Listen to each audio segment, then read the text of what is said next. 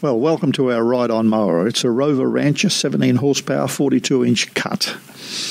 I'll open the bonnet up here, show you a few of the features to start with. There's the fuel tank right at the very top, takes unleaded fuel.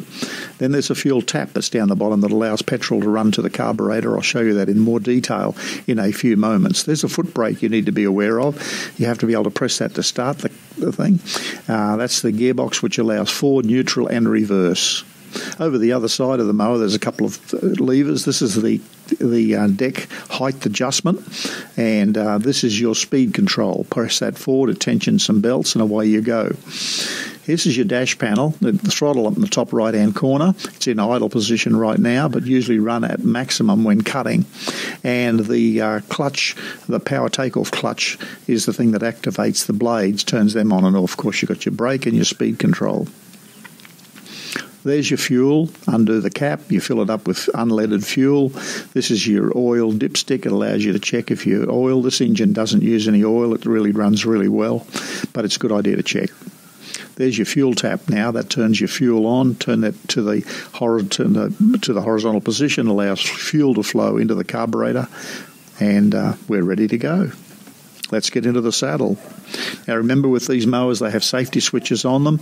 You have to be sitting in the seat for it to start and for the motor to run, and in this case, to start, you actually have to press the brake on there first. You do not don't have to change gears. I'm just selecting neutral in this particular case.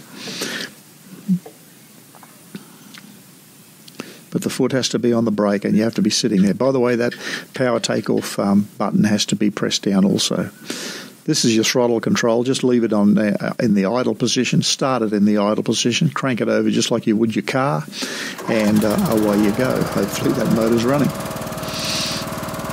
Now at this point you can take your foot off the brake and not touch it again. This is the lever that adjusts your height of your deck for cutting height of your grass. And as I said, I've got a mark there on uh, that position and it's on about a level 6 and that's about ideal for our grass level. Now, if I press that uh, lever foot, I'm going to move forward. Now, I'm in neutral at the moment. I, you can't see it, but my left hand quickly flicks over there and pushes it into forward gear. And now I'm moving forward. Sometimes it's a little jerky when it starts because the belt's grip.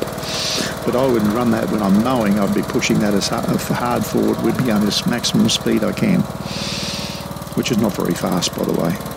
There's your forward and reverse lever. If you want to go backwards, you go into reverse. By the way, you can't do that with the mower blades going. If you do that with the blades going, the safety switches will cut your blades off. They will stop stop your blades from spinning, and you'll have to push the clutch in and pull it back up again.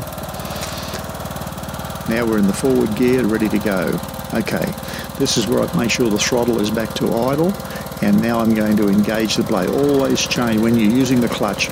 Always put a have it in idle. You don't want to be revving it too hard, otherwise it just wears the clutch out too quickly. So now the blades are running.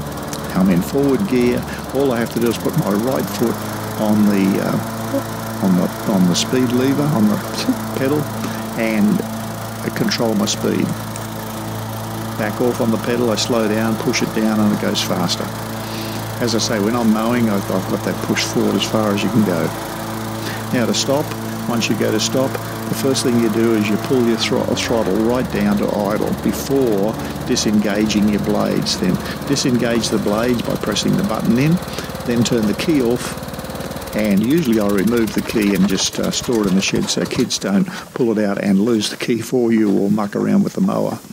Then we turn the fuel off to the carburetor and uh, that's, that's all there is to it. Quite easily done. Now, this house uses sewage treatment plant, uh, which is quite sophisticated, but it runs grey water out into the backyard out in this area here. Usually, those hoses are removed when you're mowing, but the big thing is a lot of people forget to put those hoses back in. So please don't forget the first thing you do after you finish mowing is go and replace both grey water hoses, and uh, everything will be sweet. That's about it. Happy mowing. Bye byes.